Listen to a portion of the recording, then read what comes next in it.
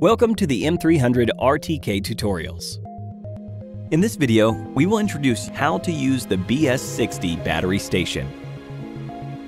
The BS60 battery station is equipped with multiple ports, providing energy for up to 8 TB60 intelligent flight batteries and 4 WB37 intelligent flight batteries.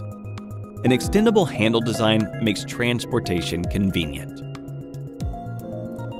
Before first use, you need to activate the battery station. Use the power cable to connect the battery station with AC power supply. Power on the battery station.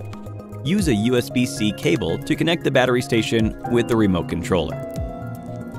Turn on the remote controller and open DJI Pilot app. An activation page will be displayed. Please follow the instructions and activate the battery station. Mount the batteries in the battery station for charging.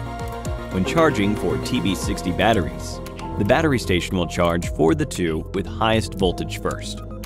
When the operating temperature is between minus 20 degrees Celsius to 15 degrees Celsius, batteries will be automatically heated in the power station.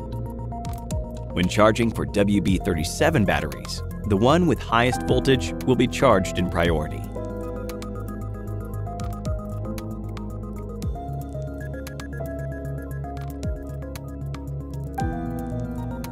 Ensure ventilation and cooling function are normal of the battery station during use. Place the battery station in an open place. Keep it leveled, stable, and away from inflammable and explosive articles. Do not charge batteries with the battery station closed. The BS battery station is only compatible with TB60 intelligent flight batteries and WB37 flight batteries. Do not use it to charge batteries of any other models. Keep the battery station dry and away from any liquid such as water and oil. Thank you for watching.